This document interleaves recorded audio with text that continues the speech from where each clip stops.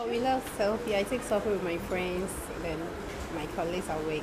I do that almost every day. It's very, very good. When you're taking a picture, it's very clear. Anytime, day or night, it's very clear.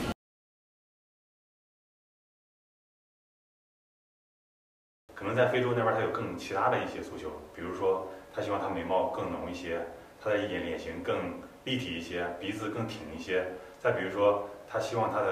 这个肤色更丝滑一些。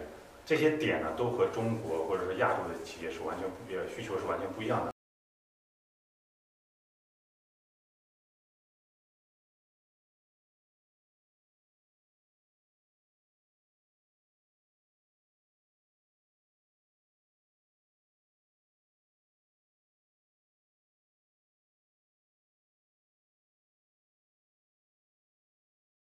Tecno is very, very popular. In fact, it's a household name in Ghana. It's the reigning most popular mobile phone brand in Ghana now.